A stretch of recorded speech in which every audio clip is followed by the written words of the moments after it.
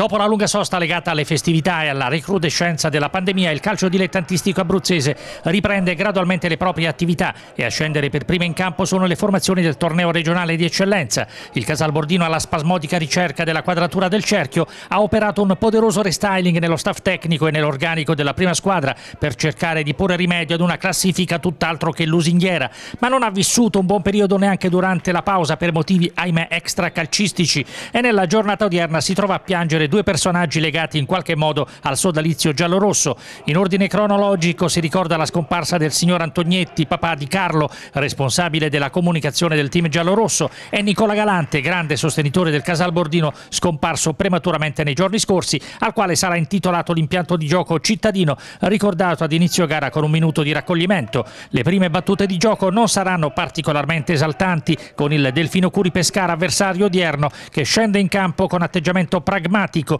e mette per primo in difficoltà la retroguardia giallorossa, dapprima con lo stacco in area di Pastorini che costringe l'Alic ad inarcarsi per alzare la sfera sopra i legni della sua porta e successivamente con Gobbo Carrer che prova a pungere dal vertice d'area, ma stavolta l'Alic non deve disperarsi più di tanto per abbrancare la sfera con relativa tranquillità. I casalesi del neomister di Simone si affacciano in area ospite al minuto 19, anche se il contatto tra Paolilli e Moschini non viene ritenuto sanzionabile dal direttore di gara, il quasi impronunciabile Ieuk Vumer della sezione aquilana. Il primo intervento significativo di calore si registra al ventesimo quando deve intervenire sul primo palo per azzerare il temibile diagonale in area di Salghero. Nelle fasi successive la Moviola è chiamata in causa in altre due occasioni e in entrambi i casi per episodi accaduti in area pescarese. Nel primo caso i padroni di casa protestano per un contatto tra il solito Paolilli e Iannone, ma anche stavolta il fischietto aquilano fa proseguire. Stessa soluzione adottata al ventiseiesimo sul nuovo incontro ravvicinato che stavolta vede come protagonisti il pescarese Pastorini e il giallorosso Anzic.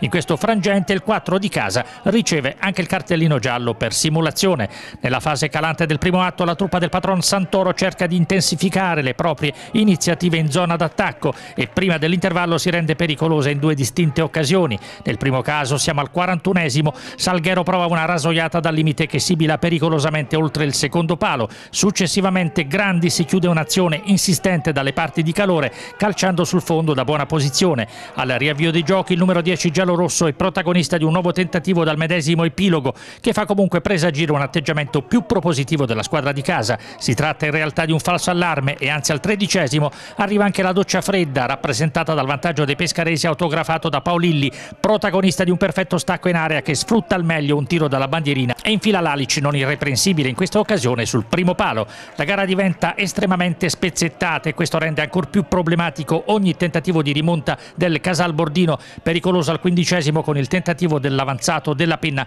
che mette in vetrina il superlativo riflesso dell'estremo ospite, decisivo per preservare il suo personale clean sheet. Calore preserva ulteriormente il risultato intercettando un velenoso tentativo di Iannone a ridosso della linea di porta che rappresenta il classico canto del cigno per le legittime aspirazioni della truppa casalese che anzi rischia di soccombere ulteriormente in pieno recupero, ma il neoentrato Sciamanda evita ai giallorossi una sconfitta più pesante a fine gara con il Casalbordino che prosegue nel suo silenzio stampa, l'unico che arriva ai nostri microfoni è il tecnico ospite Guglielmo Bonati.